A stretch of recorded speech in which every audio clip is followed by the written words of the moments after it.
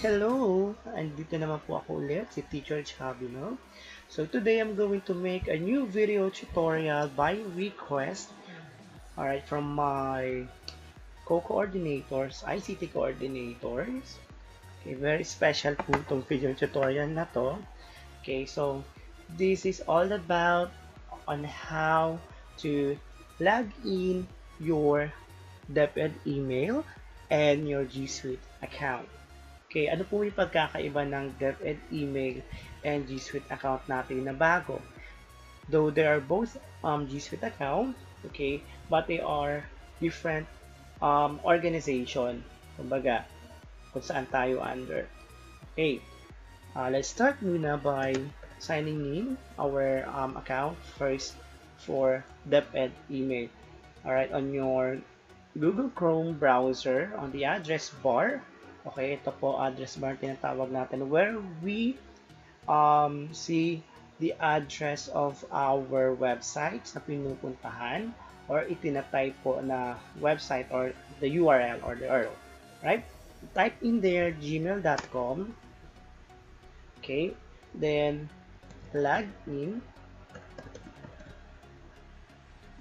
at deped.gov.ph okay. Then the password.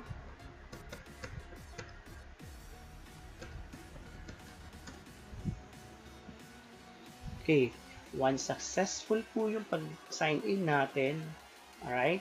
Ito po yung hubungan sa atin. Okay so this is our um, DepEd email. So as you can see we have the icon here DepEd email.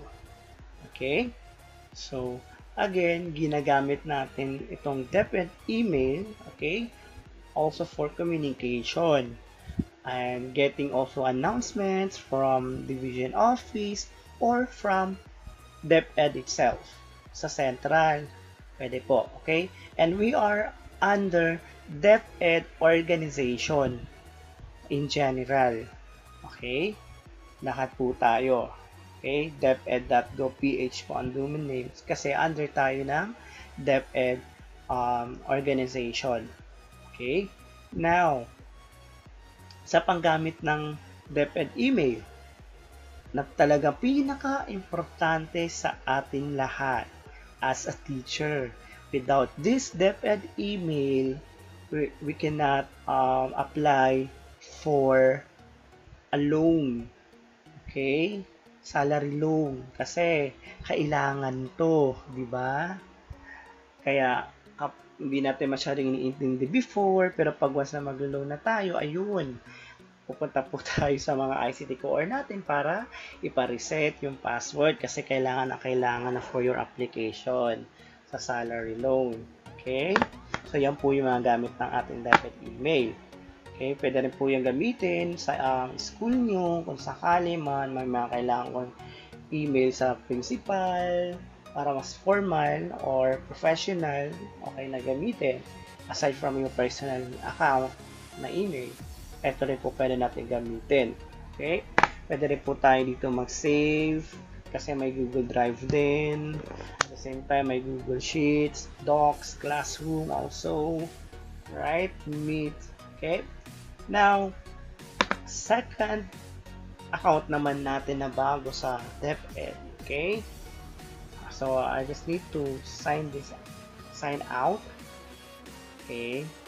So, I'm going to use another account. Now, I'm going to sign in my G Suite Education account.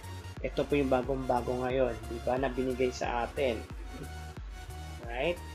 Kung meron na po yung division nyo nito, ito po yun. So, ang format naman po nito kasi, alright, ng email natin is your first name dot last name at depedlaspinas.ph. So, meaning to say, we are under DepEd Las Piñas organization.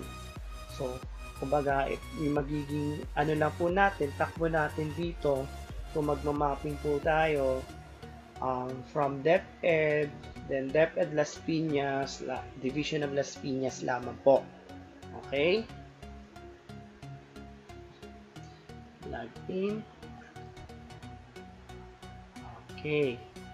So makikita nyo po ang pagkakaibawas ng login po kayo kasi ma-identify nyo na kung G Suite siya kasi may nakalagay dito G Suite.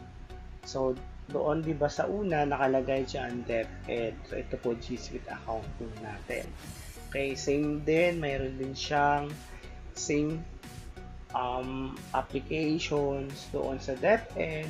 Okay, pero it may kumbaga, dito naman sa G Suite account natin, ito po gagamitin talaga for education, for classroom, okay? Lalo na ngayon na new normal tayo at distance learning, alright? Kasi magkakaroon din ng DepEd Las Piñas or G Suite account ang ating mga estudyante. Okay, same organization para mas madali natin din silang mai-add sa ating Google Classroom or kahit mag-share ng ating mga Google Docs or Google Sheets and Drive, mas madali na din. Okay, magkakaroon po tayo ng another video tutorial with this different functions na mga ito, mga. Okay, Classroom,